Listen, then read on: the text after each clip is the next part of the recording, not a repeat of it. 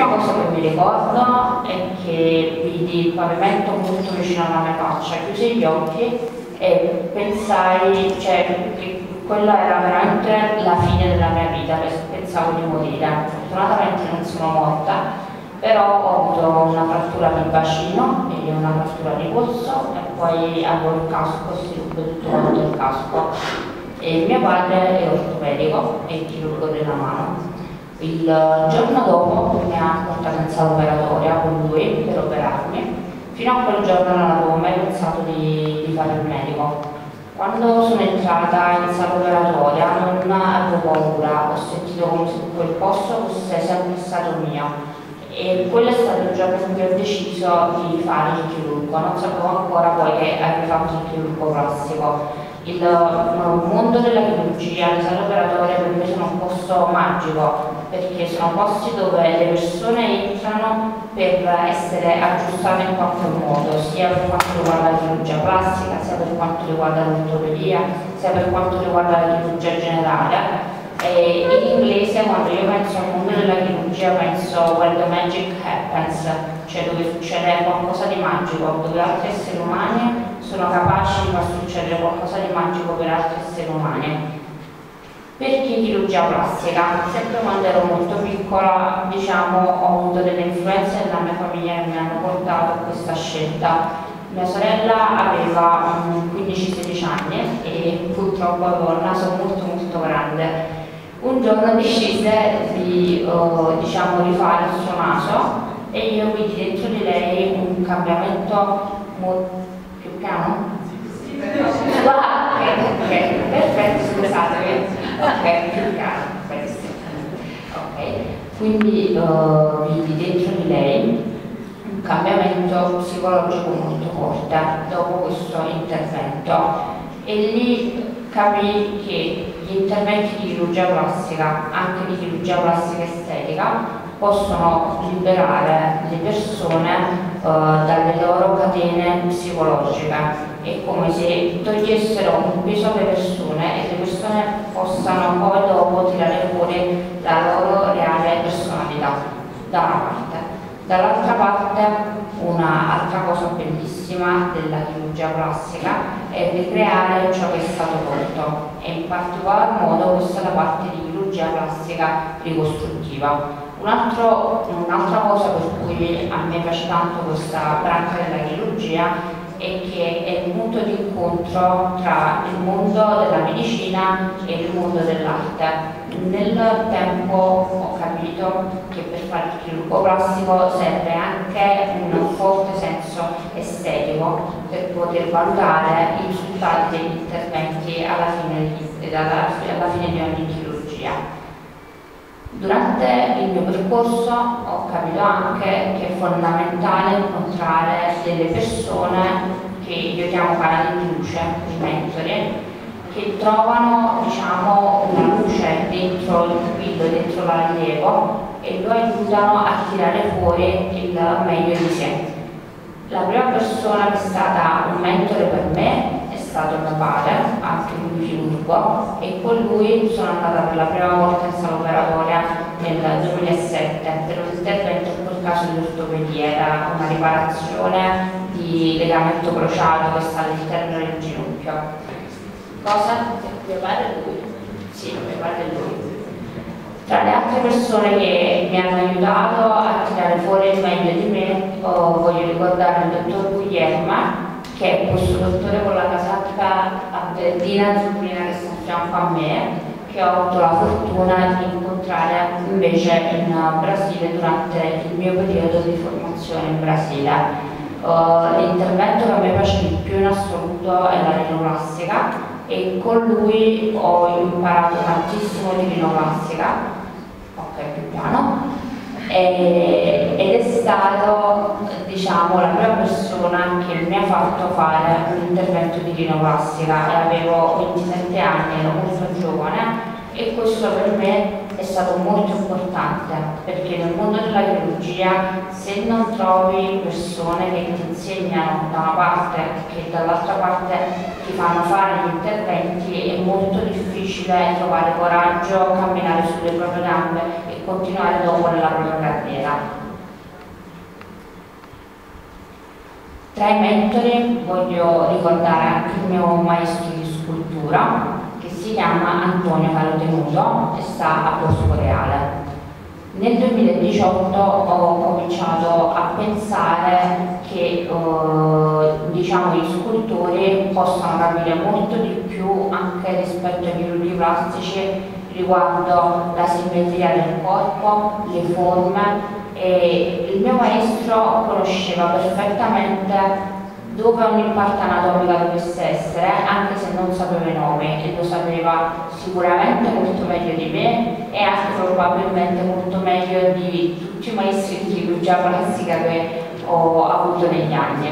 Con lui quindi ho cominciato a fare lezioni di scultura e lui mi ha insegnato anche il controllo di tutte le forme e il controllo ancora più importante della simmetria tra destra e sinistra a cui tutt'oggi io penso quando diciamo durante i miei interventi.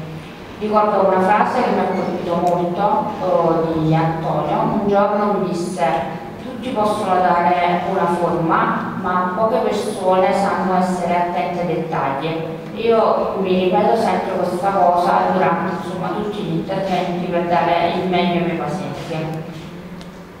Tra i miei mentori oh, voglio ricordare anche il dottore Finocchi, cui anche sono qui, qui oggi. Il dottore Finocchi è un mio collega di Roma, anche lui grande appassionato di rinoplastica, da cui ho voluto imparare una tecnica che lui stesso ha sviluppato. Durante la prima ondata di pandemia, a marzo e aprile del 2020, i chirurghi plastici in libera professione non potevano lavorare, erano stati bloccati tutti i nostri interventi. Era un momento molto triste perché avevo cominciato da poco la mia carriera, mi ero specializzata da poco e mi sono trovata da un giorno all'altro a non poter più lavorare e fare niente. Parlai con Valerio che durante questo periodo diciamo, di, di pausa decise di organizzare la stesura del primo libro italiano riguardante la rinoplastica e mi chiese se potevo partecipare. Questo libro è stato pubblicato quest'anno, sono molto contenta di questa cosa, ma sono ancora più contenta del fatto che grazie a lui io abbia, avuto, abbia continuato ad avere una speranza anche durante giorni diciamo, brutti di marzo-aprile del 2020 e qualcosa di bello a cui pensare, qualcosa di bello da creare e soprattutto qualcosa di scritto da lasciare ad altre persone. Perché quando qualcuno conosce qualcosa se la tiene per sé vuole con sé se invece la scrive la può trasmettere a migliaia di persone e questa è una cosa molto, molto importante. Durante la, la specializzazione ho deciso nel 2017 di andare a fare un periodo di formazione in Brasile. Il Brasile è un posto oh, molto conosciuto nel mondo per quanto riguarda la chirurgia plastica ed estetica. Sentivo che a Napoli avevo raggiunto un momento di plateau in cui non riuscivo più ad imparare le cose. Ah, plateau. Ok, no, plateau va bene come ok, plateau allora, quindi avevo raggiunto un momento di plateau in cui sentivo di non poter più imparare niente qui e avevo pochi stimoli. Decisi quindi di partire per un anno, uh, sono stata per 11 mesi a Rio e per un mese a Santos nella regione di San Paolo. E quando penso a quel viaggio mi piace pensare a quel momento in Brasile come al viaggio dell'eroe come descritto da Carl Jung, quando qualcuno sente uno stimolo di maggiore conoscenza dentro di sé, parte e trova mille difficoltà per partire e io stesso ho avuto mille difficoltà per partire perché per andare lì ci vogliono migliaia di documenti per avere eh, visti e permessi per stare lì tanto tempo. Durante la mia permanenza lì ci sono stati momenti belli ma anche momenti brutti di grossa solitudine. Il Brasile è un paese bellissimo e molto energetico, ma è anche veramente tanto tanto pericoloso e quindi mi sono mh, trovata ad affrontare le cose un po' scoccianti, ma l'importante è stato mantenere la calma, mantenere la concentrazione, ricordarmi perché ero lì e perché ero andata in un paese lontanissimo da casa per imparare qualcosa e alla fine sono tornata a Napoli ancora più oh, felice e carica per continuare la mia carriera. Ora finisce la parte della presentazione riguardo diciamo, la mia esperienza lavorativa e ora comincerò a parlare di che cos'è la chirurgia plastica. Uh, plastica viene da plastos, greco, e significa modellare.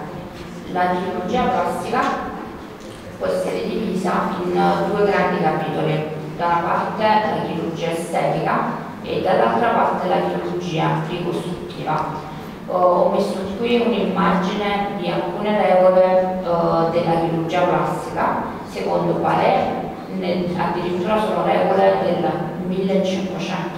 1564 e poi di Gillis e Milliard che sono due famosi e importanti chirurghi plastici del 1950.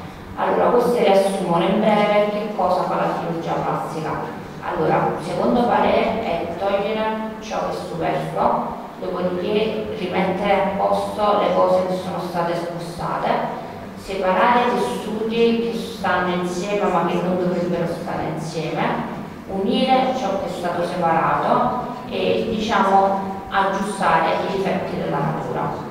In seguito Willis e Milliard hanno aggiunto altre regole. La regola numero uno, che è una regola che porto sempre anche io con me, è avere sempre un piano cioè non entrare mai in sala operatoria senza sapere col paziente precisamente che cosa deve fare, questa è una cosa fondamentale. Avere un proprio stile chirurgico, dopodiché onorare sempre ciò che è normale e far tornare ciò che è normale nella sua normale posizione. Non buttare nulla di ciò che è vivo, dopo vi spiegherò insomma noi come ricostruiamo, capirete